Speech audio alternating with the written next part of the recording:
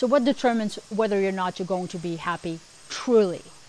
Uh, because I'm getting a little annoyed with the coaches out there and the happiness personal development experts there not giving things a little bit of nuance. So, first, what determines what is going to make you happy or not? Yes, Dr. Sonja Lyubomirsky is right, even though her research is getting a little bit more nuance. Is 50% that of us is genetics that's going to determine whether you're going to be happy or not. Now keep in mind, not all of your genetics are bad and depressed and negative, okay? Then it's 40% what you do to your brain. Whether that is NLP or you hire a coach or you are a coach or you learn the best personal development tools in the world, uh, and many of them are taught on the island where I'm now. I'm on Bali right now. I just finished the training here. Interested in training with us in Mexico, Bali, Amsterdam, at the beach, in Venice Beach or Miami, just go to globalnlptraining.com and we can send you brochure and everything that happens every single day inside the training. Anyway, yes, you can use NLP to get rid of anxiety and significant emotional events in your past. And, and you can get fixophobia and you can set the goals in the best way. You can switch negative to positive emotions. You can really dig deep and change your life. And I think that a lot of coaches want to focus on that 40%, right? They don't know what to do with the remaining 10%, which is life. Life circumstance is a factor. So here they are, they kind of reason that, oh, we have 50% genetic. Well, I'm afraid to do any genetics. I'm afraid to do anything with that except saying that it doesn't need to fire.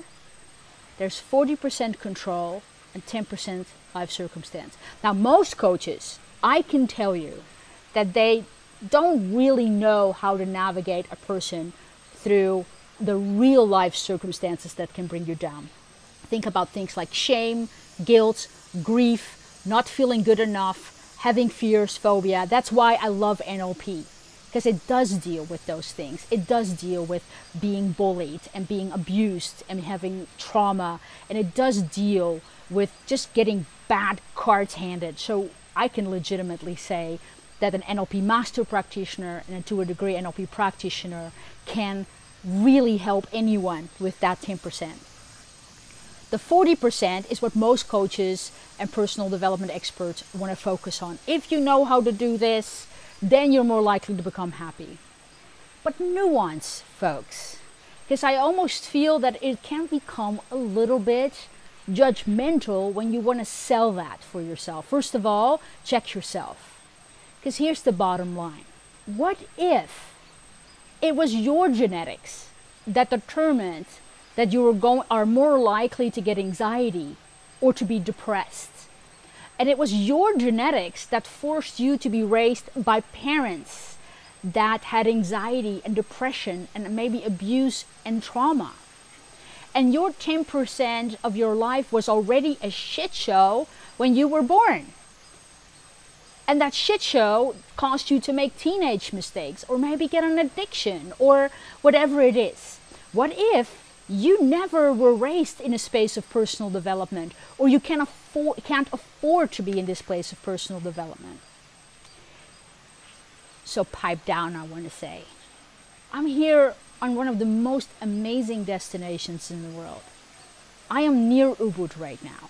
Across the street over from me is a beautiful foundation called Bumi Sehat. And what Bumi Sehat does is it takes pregnant Balinese women who cannot afford health care, who cannot afford checkups, who cannot afford vitamins, who will die if their baby is born in breech, and they help them for free. So, what if that was you? Certain things that we take for granted in the US and the Western world and in, in, in, in, in, in Europe, what if that was you? So rather than throwing all these statistics out there, how you're going to magically make everyone better and be judgmental when they don't. It is really hard to dance and sing if you're grieving, if you're abused. So, how do you then use your tool set?